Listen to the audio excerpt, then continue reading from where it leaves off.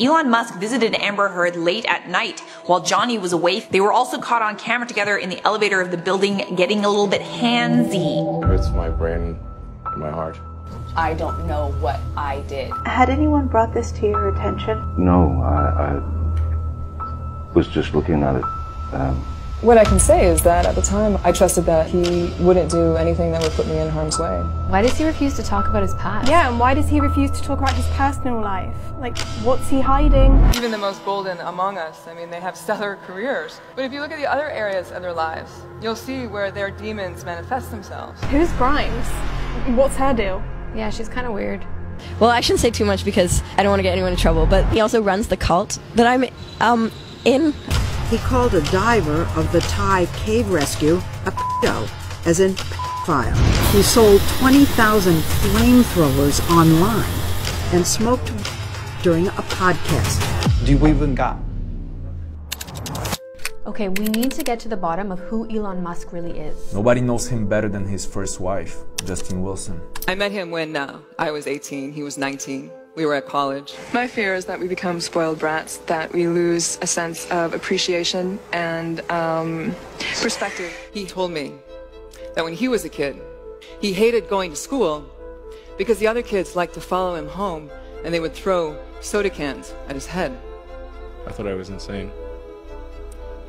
Why did you think you were insane? Because it was clear that other people did not. Their mind wasn't exploding with ideas. You, they, they wouldn't understand I hope, you? I hope they wouldn't find out because they might like put me away or something. You thought that? For a second, yes. So he was aware that he was different. Yeah, he revealed on SNL that he has Asperger's syndrome. I'm actually making history tonight as the first person with Asperger's to host SNL. What's that? Asperger's syndrome is considered to be on the mild end of the autism spectrum. People with AS find social interactions more challenging. What does that mean? It means that it was harder for him to fit in. And people picked up on that. When I was in high school, we called them geeks. And it was not a compliment. When I was a child, there's one thing I said. What is it? I never want to be alone.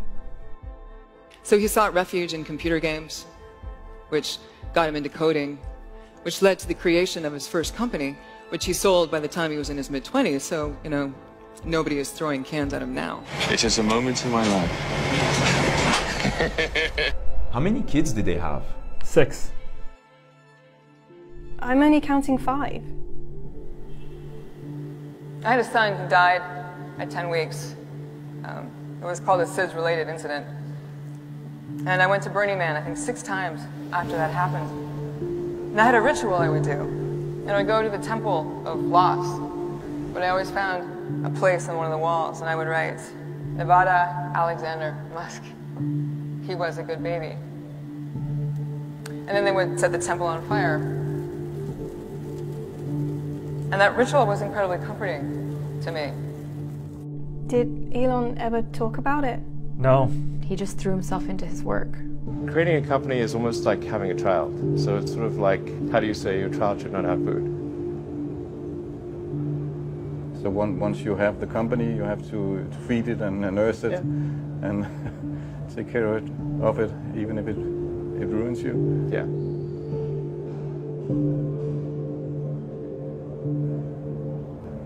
How did you get through that period of crisis? Yeah. Can we just break for a second? Sure, sure, sure. There need to be things that make you look forward to waking up in the morning. You wake up in the morning, you look forward to the day, look forward to the future. In a future where we are a spacefaring civilization and out there among the stars, I think that's very exciting.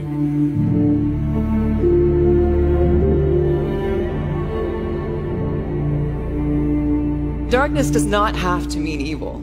You know, it can refer to anything that has not yet been brought out into the light, beyond boundaries, beyond our comfort zone, where a lot of us do not want to go. Why did they get divorced? Elon made it clear that he did not want to talk about Nevada's death. He was obsessed with his work.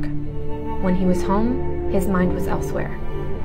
I felt insignificant in his eyes, and I began thinking about what effect our dynamic would have on our five young sons. Elon agreed to enter counseling, but he was running two companies and carrying a planet of stress. One month and three sessions later, he gave me an ultimatum. Either we fix this marriage today, or I will divorce you tomorrow.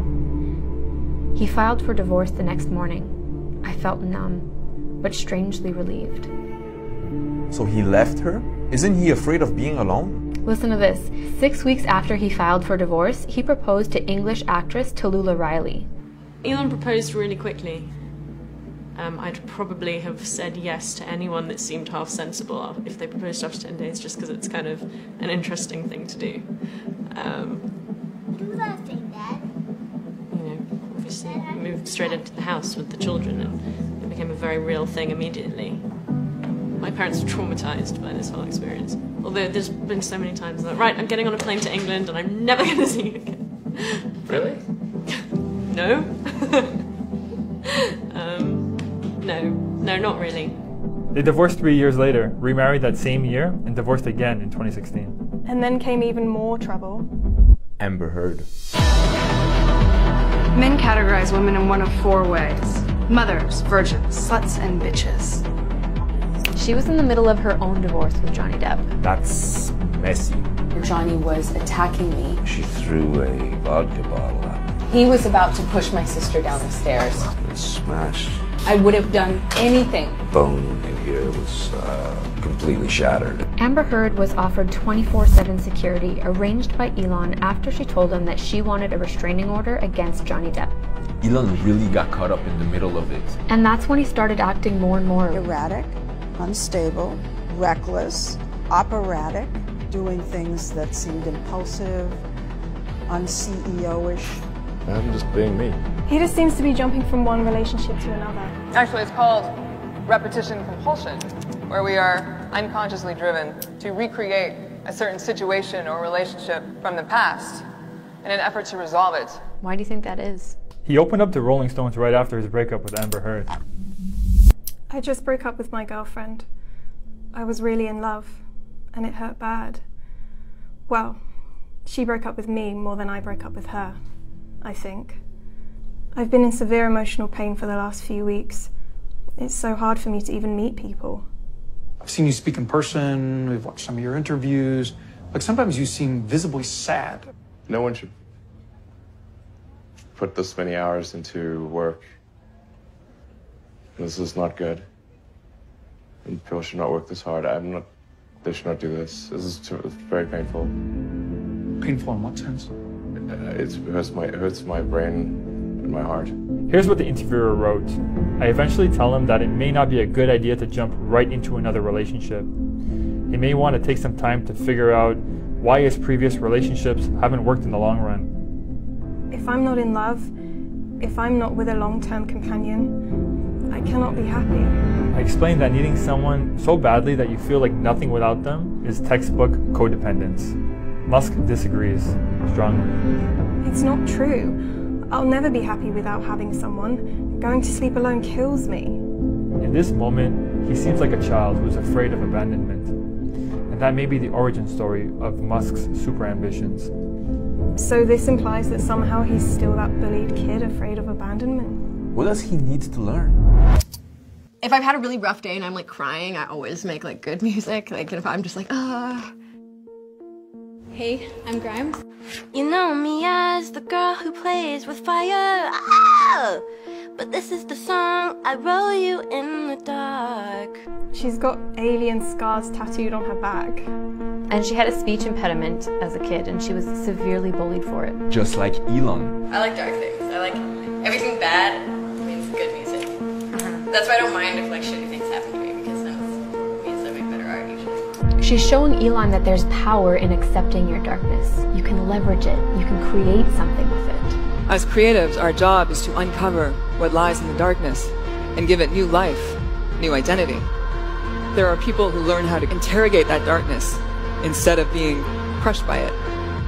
And they use their art and their magic and their tech and their intellect to not only show us who we are in a way that we can understand and accept, but also who we can be. They create new tribes and new worlds that call their people home. The best stories are the ones that we surface from the dark.